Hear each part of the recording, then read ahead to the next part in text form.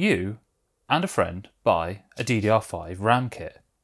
You take one stick, he takes one stick, and then when prices settle, you buy another kit to get the full amount. That's an idea I heard the other day, and a few weeks ago, I'd have called you absolutely crazy, but with the rate of RAM prices going up, I think we should probably test whether it's sensible or not. So we're going to create a quick test system. The CPU I'm going to use is the Ryzen 5 7500F. Now you might be wondering why not use 7800X3D or 9800X3D for a bolder CPU result. Well, those X3D chips, in some games, they don't care too much about the RAM performance. So I thought I'd get one of the CPUs that doesn't have a 3D cache to see if we can get a worst case scenario with the RAM difference. If I owned a Ryzen 7 9700X, that might be a better choice, but I don't stock them because I feel they're a completely pointless CPU for most people. And now in goes the precious cargo. And to stress the CPU out, you need a powerful GPU. We've got the RTX 5080 MSI Inspire, so let's plug it in. And here it is, our medium ugly PC build. So we've got our BIOS updated and you can see we have one RAM stick in situ. And then we just want to go into Precision Boost Overdrive and ensure that it's enabled. We'll put the limits to motherboard as well. We'll leave the rest. Okay, and there we go. We are running 16 gigabytes at 6000 megahertz CL30. So let's get into some testing. These are the settings we're going to use in Fortnite. 1080p full screen, DirectX 12, Everything is on low, but with epic draw distance with a normal 100% 3D resolution. So mm-hmm. let's hop into a game.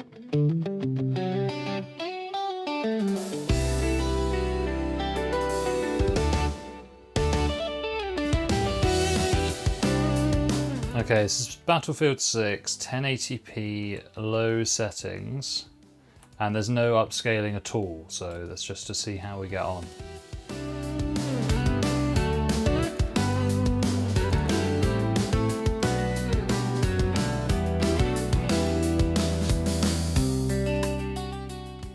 Alright, we've got Apex Legends 1080p high. Even though it's on high, it is still going to be rinsing that CPU. I suppose I could turn it all down to low. I expect the difference will be academic.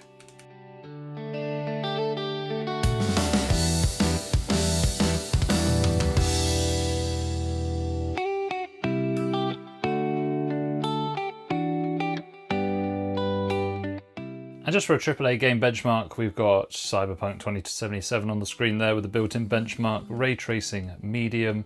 If I know YouTube comment sections, and trust me, I don't want to, I know you're going to complain that I haven't used a high-end X3D CPU to test this out. So fine, I'll do it, but I'm not going to subject you to watching a load of game footage again. I'm just going to put it in the chart at the end. Happy now? So here's the consolidated chart with all the results. As you can see, I've added the 9800X3D alongside. Actually, I was quite surprised here. Really, the only game that was held back was Battlefield 6. Being at 1080p resolution, I doubt it was a capacity issue, so therefore I think the dual channelness definitely helps in Battlefield 6, and while I was testing it out, the gaming experience was far superior on the two sticks.